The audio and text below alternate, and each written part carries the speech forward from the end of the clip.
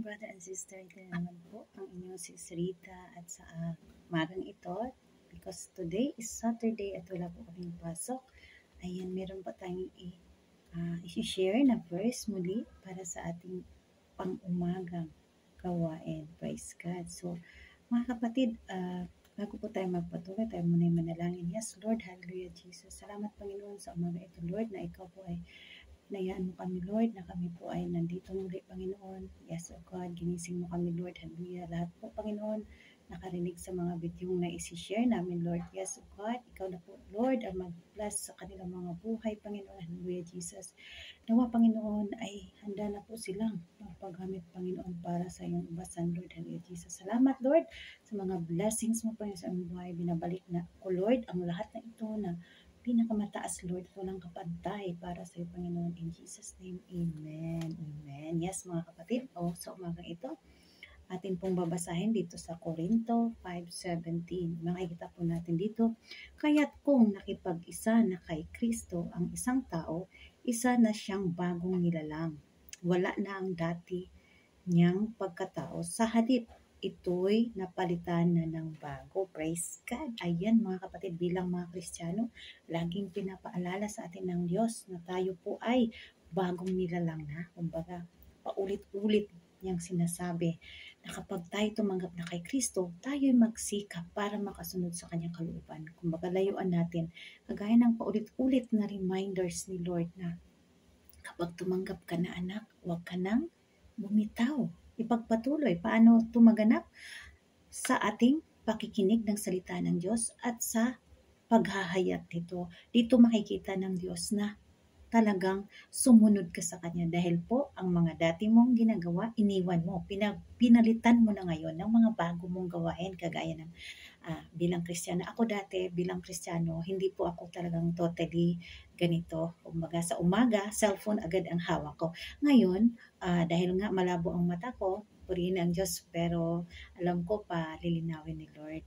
Ang una ko talagang uh, ginagawa, nag-pray, tapos cellphone agad. So, tuloy na ako doon sa social media kapatid. Pero nung uh, talagang nag-focus ako kay Lord, nasabi ko, Lord, uh, binigyan mo ako ng maraming uh, blessings sa aking buhay, mga opportunities na uh, hindi ko sukat akalain na magkaroon pa ng katuparan. So, yung mga free time ko, Lord, i-dedicate ko sa iyo. So, yung sinurrender ko na yung kalooban ko sa Diyos, uh, sa umaga, mananalangin, mag-meditate, at uh, lahat po yan, papanalangin natin, maging ating church, lahat po, kapatiran, lahat po ng mga friends, ganyan.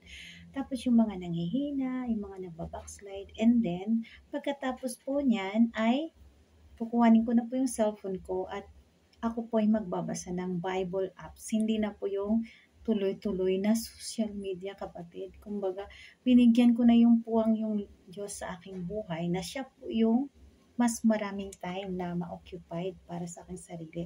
Kasi dati, mas lamang yung aking social media. Kasi nga may, may YouTube ako. Ngayon, mag-aayag man ako ng salita ng Diyos.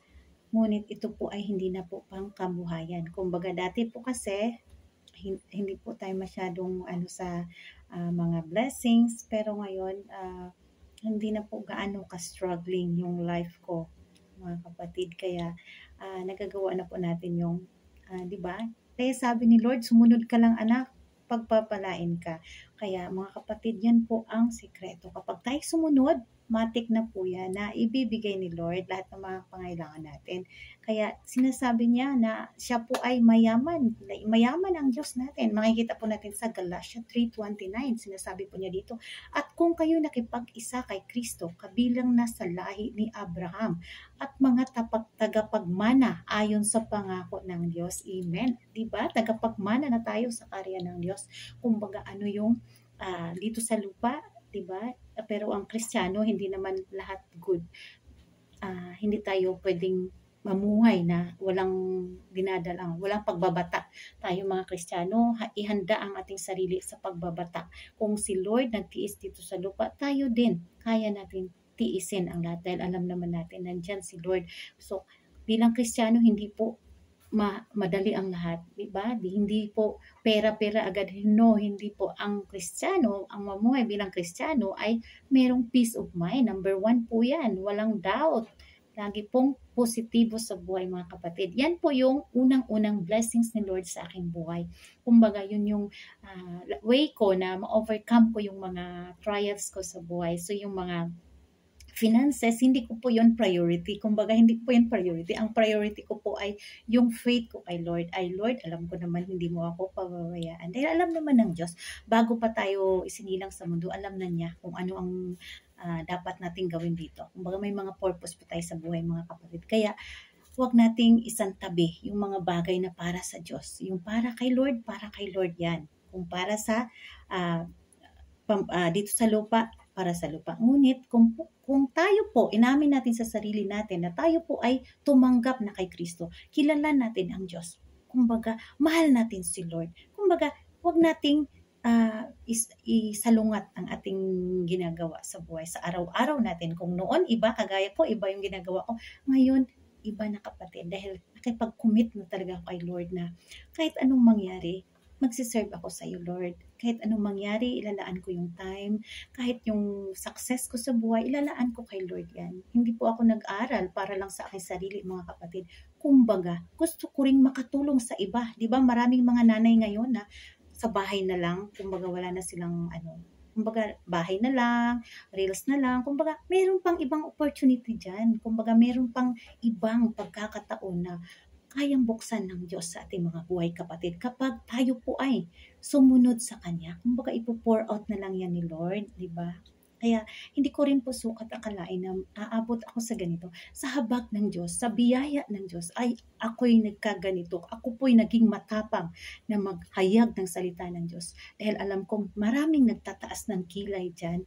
Pero alam ni Lord, ang laman ng aking puso, wala na po akong paki doon. Dahil alam naman ng Diyos kung ano yung nasa loob ko. Kung nasa, ano yung nasa puso ko. At yun po ang kinagagala ko lagi na batid ko, Lord. Alam mo yun, Lord. Alam mo naman yung nasa puso ko, Lord. At nakikita mo naman yung paano ko ginawa yung buhay ko ngayon kaysa noon, mga kapatid. Kaya, yan po ang ating tandaan na kapag po tayo tumanggap na kay Kristo, bagong nilalang na po tayo. Hindi na po tayo yung dating nila lang. Kumbaga, bago na yung ugali natin. Bago na lahat, binago na nga ni Lord. Thank you, Lord Jesus. Salamat, Panginoon. Yes, ugat tayo po ay uh, magtapos na. Salamat, Lord, sa lahat ng revelation mo, Lord, sa aming buhay, Panginoon. At salamat, Lord, sa pagbigay mo sa akin ng chance, Lord, na gamitin mo, Panginoon, upang maihayag iyong salita, Lord. Yes, oh God, hallelujah, Jesus. Sa tulong ng mga Gabay mo, Panginoon. Hallelujah, Jesus. Ang mga pastor, mga preacher, Panginoon.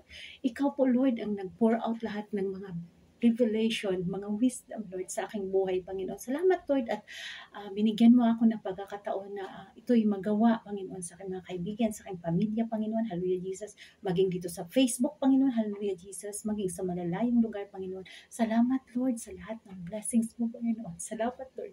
Hindi, hindi ko ipagpapalit, Panginoon. Ano man ang meron ko ngayon, Lord. Yes, kahit tinitreasure ko ito, Panginoon.